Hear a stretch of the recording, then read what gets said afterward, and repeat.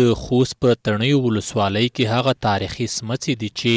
په هېواد د بېلابېلو بهرنیو یرغلونو د دفاع او سنګر په توګه ترې ګټه اخیستل شوې. دا سمڅې چې شمېر یې تر دېرشو پورې رسېږي شاوخوا څلور لسیزې وړاندې د پنځو کلونو په موده کې کیندل شوې دي. حاجي جان بادشاه چې د همدې سمڅو د جوړېدو پر مهال دلته اوسېدلی او له همدې ځایه یې په بېلابېلو جګړو کې برخه اخیستې، وايي،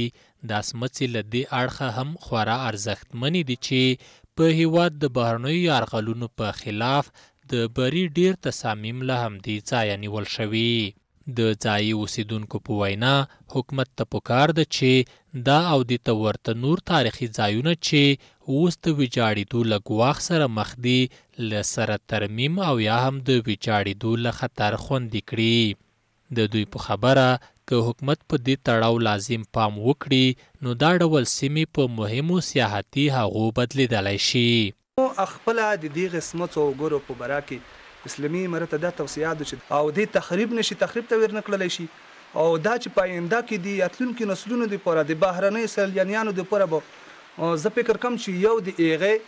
سیاخت منطقه به دغه وګرځی. د معلوماتو په اساس، خوست کې تر دا مهاله شاوخوا شل دا ډول تاریخي سیمې او آبدې پېژندل شوې دي چې